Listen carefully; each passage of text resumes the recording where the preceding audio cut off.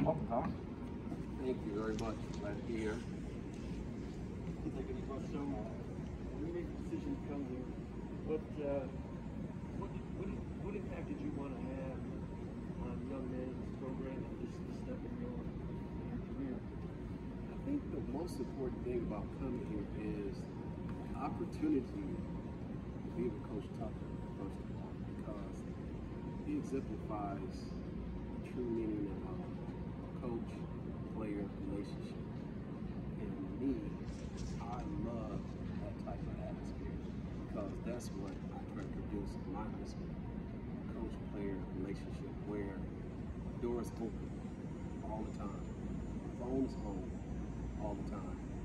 And you want to just make sure that you can reach each child. You want to make sure that you have an impact on that child's life so that they can go on and be a productive person in the community. So they can go back talk about you so you bring their kids back and see you. Because it's all about them. My, my goal, my role is through them. And so I saw that Coach Tucker and talk about it. And I hear him talk about just yesterday. Coach, you're going to love everybody up. And that's what it's about. Trying to figure out how can we love each individual here? How can we be special to each individual here? How can we make an impact to each individual here? Because today, we gotta make a difference. Today, we gotta be special. And every day, we gotta prove ourselves to them. That's my thing. What have you found the difference in those four years between the boys that, that you were coaching and helped bringing up versus the men, the young men that you're dealing with here now? I mean, are you seeing much? What what maybe is the biggest difference between guiding those guys? And the difference is that people cannot put the perce- perception they're young men. They cannot leave the perception that they are not a child. They're still growing adults. Somebody who needs somebody to hug them, somebody who needs somebody to talk to them. Because football is more high pressure because you, because of the media, because the way the media wants to portray them. And so you have to be there for them. You have to be there for them every step of the way. If you know it's practice, at the end of practice, they just don't go up the field. They go back and talk to their coaches. They go back and get get some words of encouragement from practice in. They come together and they try to make sure they get a bend, they make sure they mending each other. They create a bond because you need each other. You got to make a team sport be a team sport. You got to make sure a team sport has a bonding issue to it. And so you got to have that most important thing that's to be everlasting, their love piece. That's it. Tom, Thomas, was it an easy decision to leave Cass Tech, or once you knew the opportunity, were you kind of, you know, full speed ahead to come here? What was? Did you wrestle with this decision much? I think what really transpired me probably saying that, hey, it's time for me to make a change was I was thinking to myself that, hey, maybe I can do something. Maybe I can do a greater cause. Maybe I can be somebody better than I am right now. And I just didn't know what. Because, you know, my mother had passed and she always wanted me to do something different, probably beyond what I was doing. She always felt I was doing something good. But the most important thing, you know, people always say, hey, are you going to ever go to college? And I always say, oh, one day. And now I started looking at myself and I started saying, hey, maybe too late. and so, and I just said, I said, hey, I, I'm supposed to be doing something else right now. And I kept saying that. I mean, I think after my mother passed away, taking care of her, being there, picking her up, wash her, and shower her, change her, change her every day, change her compression. Compression ulcers and all that, everything I could. It just kept making me feel like, you know, you have to take this someplace else. And how you were able to care for your mother. You have to take this someplace else. And how you're able to bathe your mother and make her feel accepted of you doing that. Because it's not a good thing when you do something like that. Because she's afraid of you, she's scared of you, she's embarrassed of you. But you got to somehow make her know that you're just there to care for her. And you got to take that someplace else. You got to use that as your purpose. You got to use that as an obstacle to make you better. And so that really is what really changed my mind and said, hey, I have to do something else.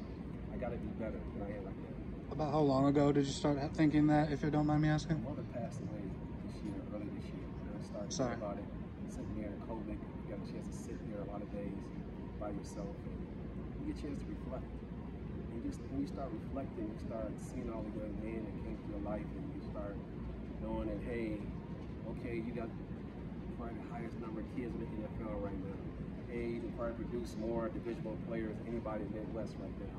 Hey, you did this. Hey, you did that. You did, you did all these great things, but can you do something else? And that's what it is. Can you do something else? Would you when you have somebody answer you, when you start speaking, somebody answer you, that's really what's great. That's really what makes the impact. Because when I start speaking about leaving, somebody answers you.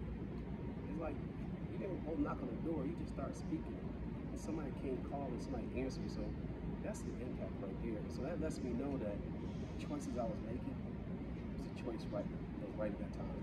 And so therefore, it was very easy because once someone asked, it was easily done. Would Thank you you. define your job right now, kind of take carrying over that caretaker role in some ways for different, you know, obviously for younger guys? I, I think the most important thing I started Coach Tucker one day, he was talking about, man, they don't know, you started high school, you did everything. you know about all this stuff. Go ahead, go talk to these kids, man. They need somebody. They need somebody to talk to. Go ahead, go do this. I say, I'm one. Go ahead, build a relationship with these guys. And that's what it is. It's building relationships. And you know, when the recruits come on campus, I'm gonna talk to them. I'm gonna talk to them, we'll talk to talk about their lives, talk about how it is, talk about how Michigan State is, and the good things I see. And there's a lot of good right now. There's a lot of good. There's a lot of good. Coaches, the bonding, and I think the most important thing when I think about man, what made me say I'm coming here. One day, I, one day I watched the coaches all drive up here. When the coach came over to the car, he said, "Hey, this is my wife right here, my kids right here." All the coaches just left out their car. Was about to leave. They all went over there and just started meeting the wife, started talking to the wife, started doing. I said, "Wow, it's a great atmosphere. This is something great." And you're, you're talking to Mel Tucker. Was he aware that you were kind of looking? Or he, was he looking? How, how did that? How did you guys find a match there? When did that happen? Because I started talking about leaving. Do you want to leave? Everybody, you ain't leaving. I said, I'm- ready to leave. I'm ready to retire. And so I said, I'm to retire. I have enough years to retire. You know, I just what I want to do right now. I want to stay here and coach. Said, I'm not going to be a teacher. to correct the papers. I that. No more papers. No more papers. No more students. No more student looks. I, I just want to be coach. And so and that was it. And so once they start talking about it, people start hearing me talk about the streets, and then they started hearing Coach Tucker talking about it, and he was talking about, then they started talking about my name. And that was it. That's how, that's how both started clicking. What do you think about him and what he's going right now? I think it's great. I mean, it's, it's funny how I watch him on the football field. It remind me of me.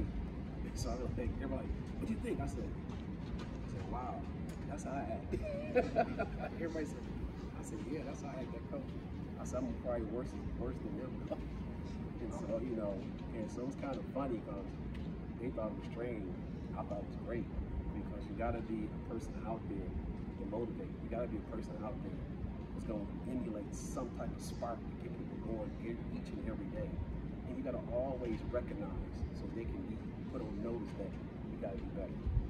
Because you never can just be relaxed. You got to always remember that every day is a day to get better.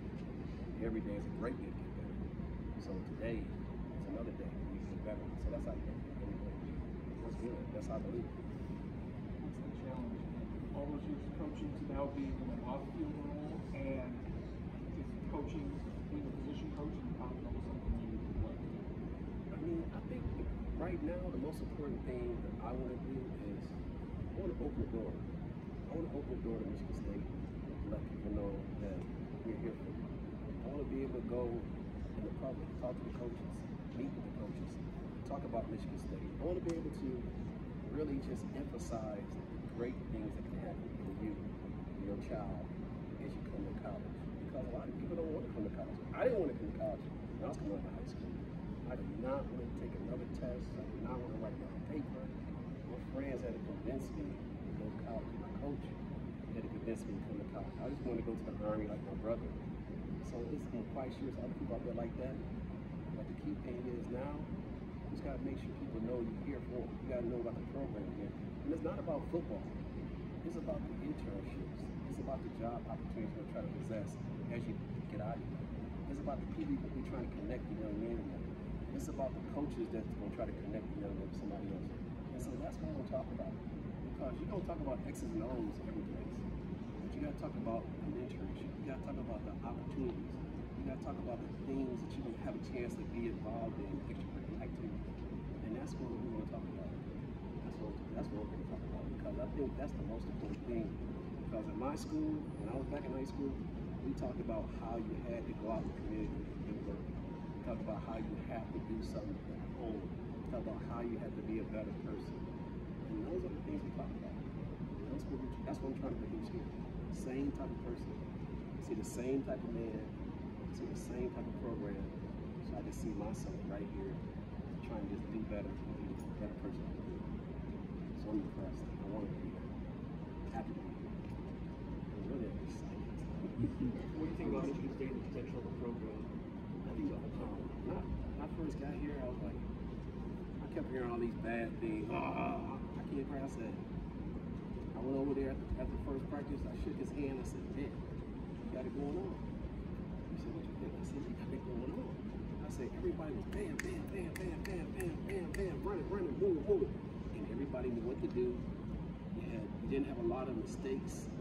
You had everybody on point. Everybody was communicating. Every, everybody knew where to go. The kids knew the plays. And so it was like, wow, this is the first day of practice. You guys know where to go, what to do. That's that's the first part of practice, trying to get somebody to know what to do, know to play. You think they don't know it. So, but they did a great job. They did. First of practice was great. It was something to look, it was something to build upon, and we kept keep building upon it every day. You know, just trying to get the fine tune things out, trying to turn the corner. That's what it's about. Trying to get the fine things, fine tune it, turn the corner, and be better. I mean, you may not have a team of from Alabama and all that, but you got you got a blue collar worker team. You got a team. I don't know if you know about the Pistons. I call oh, them blue worker, blue collar worker. This you got here, Michigan State. You got some kids gonna stand out. and make a difference. How long did it take you to get used to that, that logo? Oh, very easy. Lights got to pay, gas got to pay.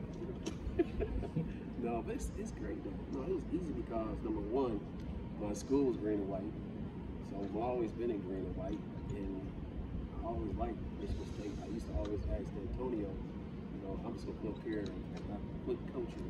We come up here and be with you. You know, I support all the time and hang out with him, talk to him, talk, play chess and shoot pool and everything. So I, I, I mean, I, I, want, I got grown accustomed to connecting a. So I kind of like I'm happy, happy to be here because it gives me an opportunity to make an impact. It gives me an opportunity to prove who I am. I just want to do that. I just want to prove I can be a better person. That's it. What's a typical day on the job for you? Is it more day to day, more big picture? Does it kind of change a lot? What's It's, it's like it's like a fire pool for me. And I'm running, trying to do this, trying to do that, trying to learn this. You gotta learn this system. You gotta get, in, get all the kids name in here. Get, get all this right here. Get, get all the coaches lined up here. Make sure you got the back going on. Make sure I'm like, all right.